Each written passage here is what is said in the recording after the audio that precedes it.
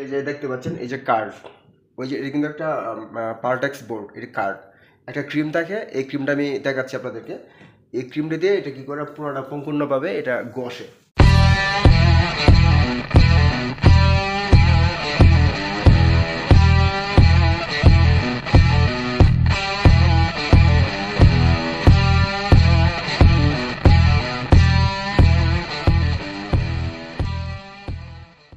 WhatsApp guys এই মুহূর্তে আমি আছি Raju Ahmed, Raju blog BD. Welcome to my YouTube channel so guys আজকের ব্লগটা স্পেশাল স্পেশাল ডেফিনেট স্পেশাল বন্ধুরা, আজকের টপিক অবশ্যই একটু ডিফারেন্ট সো গাইজ দেখতে পাচ্ছেন তামিল দেখে কি হতে যাচ্ছে আজকে ব্লগটা।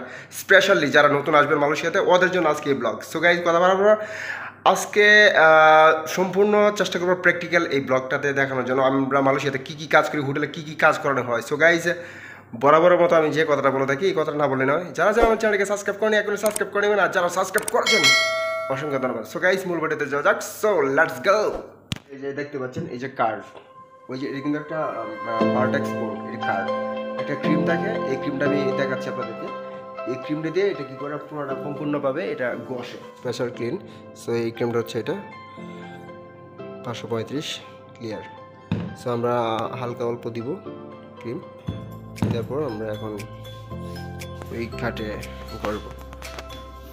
এভাবে যতগুলা আপনার এরকম কার্ড আছে, ওইগুলোতে আমরা ঘষে নিব। এটা করলে কি হয়? অ্যাকচুয়ালি এটা মানে জিনিসটা কার্ড ঘুরে ধরে না প্লাস এখানে পানি টানি পড়লেও এটা চকচকা থাকে। সবাই দেখতে পাচ্ছেন অলরেডি একদম কেমন ছিল, এখন কেমন হয়ে গেছে।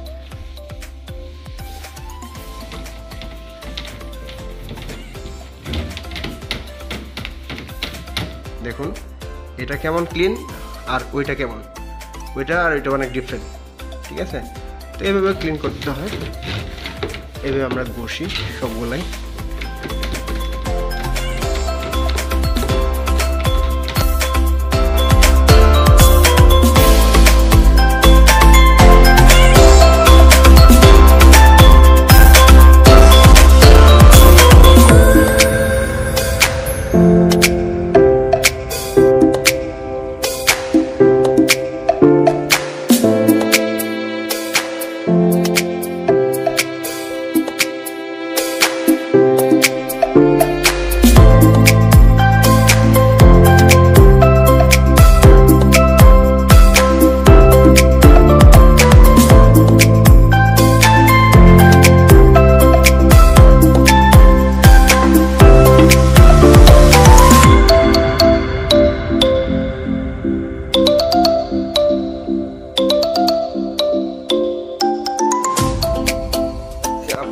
এটা পরিচয় করে দিচ্ছি। এটা হচ্ছে বেকুম।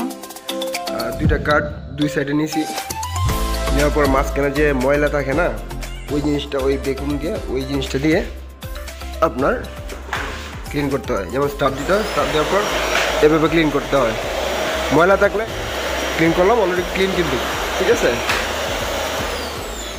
এটা হচ্ছে মূলত বেকুম। প্রত্যেকটা ক্লিনারদের সঙ্গে কিন্তু একটা করে বেকুম দেওয়া হয়। কারণ বেডের নিচে, তারপরে ফ্লোরে যে যতগুলা ময়লা থাকে, এইগুলো দিয়ে এই জিনিসটাতে কাজ করা হয়।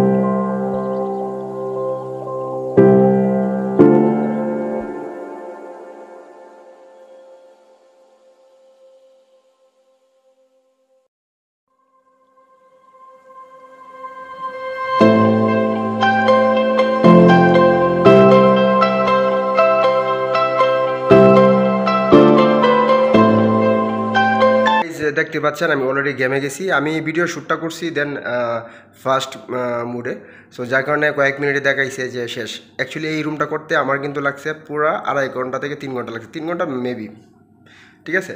সো গাইজ দেখতে দেখতে সময় কখন শেষ হয়ে গেল, আমি নিজে টার পাইনি। তবে বরাবর মতো একটা কথা বলে দেখি, আবার বলতেছি এই ভিডিওটা দেখলে আমি হান্ড্রেড পার্সেন্ট শিওর যারা নতুন আসবেন মালয়েশিয়াতে, ওদের জন্য এই ভিডিওটা আজকে আমি ব্লগটা করলাম। কারণ ফুডের ক্লিন সম্বন্ধে আপনার একশোর মধ্যে নাইনটি ফাইভ পার্সেন্ট আইডিয়া হয়ে যাবে যে ক্লিন কী কী কাজ করতে হয়। সো দেখতেই পাচ্ছেন অলরেডি আমি একটা ভিডিও শ্যুট একটু আগে দেখাইছি আপনাদেরকে। সো গাইস ভালো থাকবেন, সুস্থ থাকবেন। আশা করি নেক্সট ব্লগের জন্য অপেক্ষা করবেন। এই প্রত্যাশা রেখে আমি রাজু আহমেদ, আল্লাহ হাফেজ।